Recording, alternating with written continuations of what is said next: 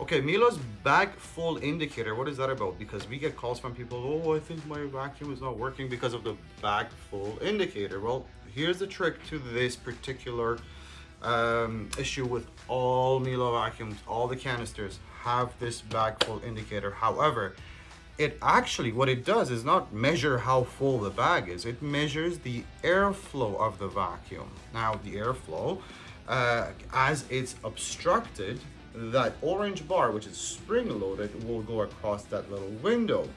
However, it could be an indication of a couple of different things. First things first, come over and I'll show you if I turn the vacuum on, what that uh, indicator would do. By the way, we have almost a brand new bag that's empty, okay? So assume you have a brand new bag in there. When I turn the vacuum on, that orange indicator comes out just a little bit, okay? Watch what happens when I turn the vacuum on. It's on high suction, empty bag, and watch that bag full indicator. Right now it's on low. Okay. Okay. Is that the most accurate thing ever in the world? No, it's actually not. Why? Because empty bag, uh, high suction, and I'm just going to put the floor head on the ground. Watch again what happens here.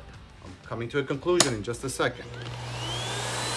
You see how it's going all the way three quarters full? All we're doing is putting this on the floor. We are obstructing the airflow. If I remove it, it's drawn back again, okay? So,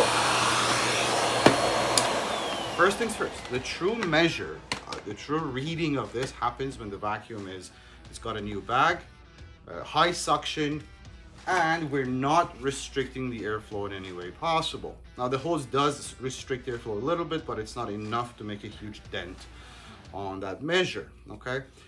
If we have a new bag, we have no attachments here, so we're not restricting the airflow, but we still get that thing go all the way in, guess what? That's the first sign there is a clog. And also the vacuum is going to sound funny. Watch what happens again.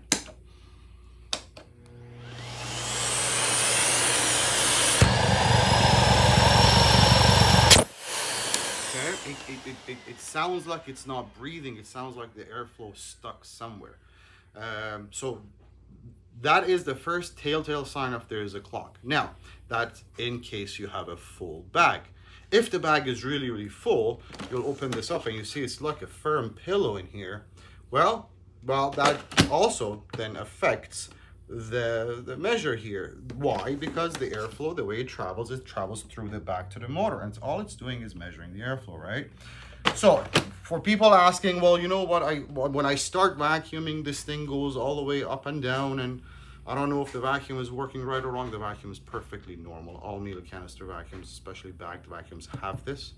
And it does go up and down. That's just restricting the airflow. Okay, so don't be worried. But if it's a new bag, still doing that, you got a clock somewhere here or here or even at the bottom on the floor head. Um, except for that, all things good. Uh, but if you have any questions, obviously still call us 905-709-6022, 1-877-220-5656.